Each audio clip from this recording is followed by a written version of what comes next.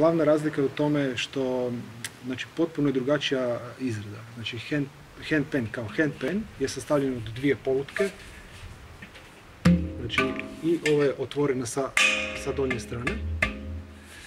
A ravast je zapravo e, rezani jezik na e, čeličnom instrumentu koji daje određenu e, frekvenciju. Ne?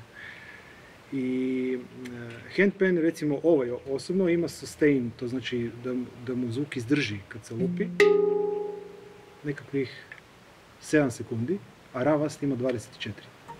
Znači zvuk kod e, takvog e, hand bubnja traje puno, puno duže.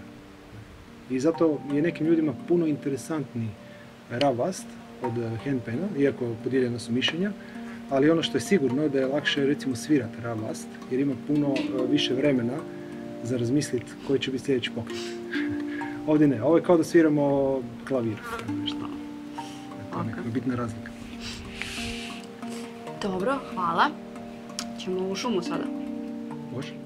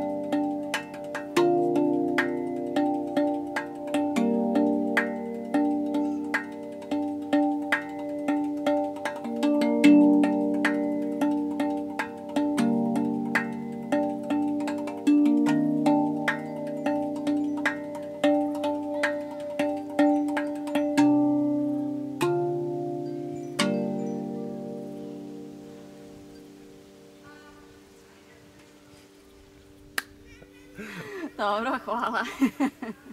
Šta ćemo s tim mobitelom? A, ništa. To su te čari dokumentarizma.